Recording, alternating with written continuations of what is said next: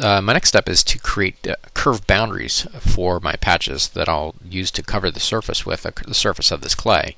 I'll put patch surfaces in. Um, I want to break up the boundaries. You can see my center line runs around the edge here, comes down around the bottom. Uh, there's already separate segments already just from how I created the curve. I want to break them into slightly smaller segments as I create my boundaries. So when I draw my curves, I'm going to use a tool called split on create and use the fit tool.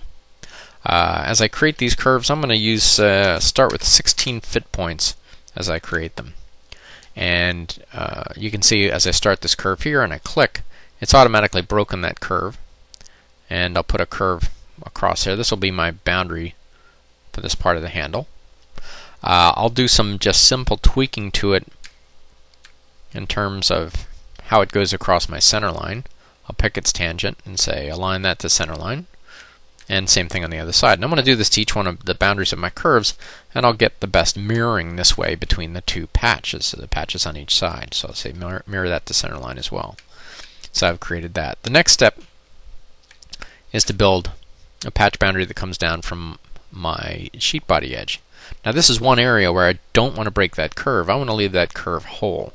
Uh, I don't want to split it or change that data any, in any way because that's what aligns to my sheet body top that is currently currently I have it hidden but I don't want to change that interface between what I'm building is reverse engineer surfaces here and what is the original data up above it. So in this case my first point I'm going to turn off fit, uh, split on create and connect to that edge. Notice it's drawn a T connection, it's in yellow. I'll turn the split on create tool on so then the next curve I intersect will be split. So in one single curve I've got one T connection and one split. I'll do the same thing on the other side from this corner and say split on create there.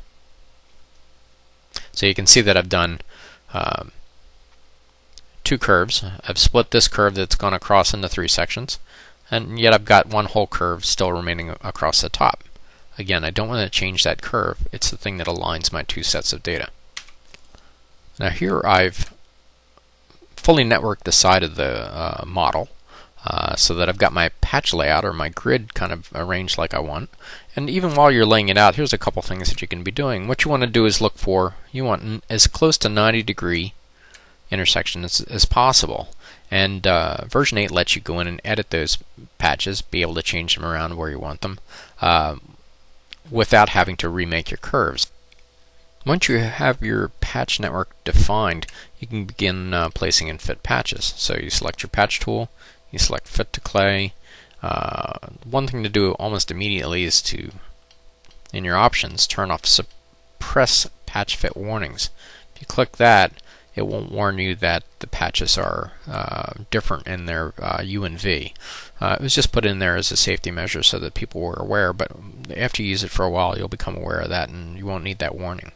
So with that off, I can say click on this edge, I've created a patch, uh, create another patch here, uh, create another patch here, create another patch, and I can work my way down the entire side of the model and be able to lay in patches.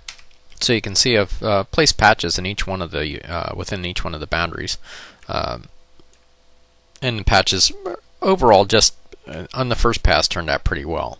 Uh, there's a couple areas I want to tune up, and I have a um, an area right here in particular where uh, I'm going to shut off the display of the curves just momentarily. You can see these two patches are not well aligned at all. There could be a number of things doing it, but I know the clay under there is smooth and they should connect smoother than that. The first thing to tweak is the curve that uh, bounds in each one of those patches. So I'll use my select tool and I'll go and pick that curve. I can see it's got 10 points. I pick the patch and I can see the patch has uh, 10 and 28 points. If I turn on the display of that, I can see that the 10 go in the direction of the curve. Um, I'll look at my other patch. I can see it's got a lot more. Well, this patch here is probably fitting a lot tighter than this one here, which has less. So I can adjust the curve. I don't have to adjust this patch actually. I can adjust the curve to have more points. And it will pull both patches down into alignment. So I'll go and set that curve to say 16. Let's try 16 see what that does. I'll turn off my curves. I've got a much better fit already. There's a uh, you might not be able to see it, but there's still a slight mismatch there. So I'm going to turn my curve on again, and I'll set that value up to 20. I look at it now and I've got a much better fit, much better alignment. There's a couple areas where I want to adjust that. There's an area up on top here I'd like to adjust as well. And you can go through your model pretty quickly and be able to adjust this. But uh, just step your way up and uh, look at the change that happens and evaluate whether your patch is better. Again, that's considerably better.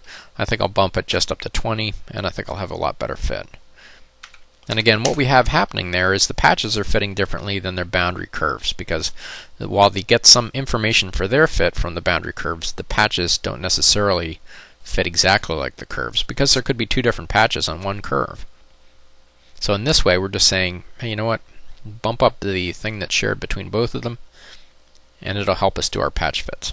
So you can see here we've got a much better fit on our patches. And this is how to do your patch tweaking on your model. You can walk right up the whole side of it within about 10, uh, 10 minutes, have the whole thing cleaned up and aligned correctly. Uh, per patch, there are tools for being able to do alignments to the patches next to them, but as long as you're fit well, in other words, I can say make one a leader, one a follower, but you know, these are fit so well to the clay that I really don't need that. One thing that I do want to do, for each one of the patches that surrounds my model, I want to align them across their mirror plane because I'm going to mirror these patches from one side to the other and I want them to be aligned to each other. Uh, and in the mirroring command I don't want anything to happen uh, where I get a discontinuity on my center line. So using this tool lets me line that up. Remember previously we had taken the curves and we had taken their tangents and lined them to center line as well. So we do both both, both patches and curves, we'll get the best alignment of our surfaces when we mirror the two. Uh, so let's do let's go do that now. So to mirror my patches, I'm going to first turn off the sheet body at the top. I don't need to see the uh, the part that's already surrounded uh, on both sides. Uh, I can see I have patches on one side and nothing on the other. I can blank out the display of the clay and just go into mirroring my patches. So I select mirror patch. And as I go, and it's going to use the default mirror plane, or, or you can select another plane. It's using the one that I used to mirror the entire clay model to begin with. As I select these, I hold down the control key to select several, and I just go down and select all my patches. And I can also do the same selection from the object list. I can say, let's mirror all these. So sometimes that's easier, sometimes picking it individually from the screen is easier. And I select apply, and it creates the patches that are mirrored on the other side, which gives me my uh, symmetrical model.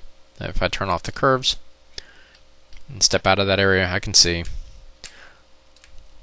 I've got the model mirrored on each side. The next thing is, uh, while I have the tube at the top that's going to close off the top, I want to close off these side faces so that I can make a solid out of this handle section. Remember we said before that we're going to put in a polygon section here that lets you put texture detail in and that's just that's going to be separate from the actual solid model because it's an area that's molded separately. It's just going to be a rubber grip and it will be molded in uh, its own type of material different than the rest of the model.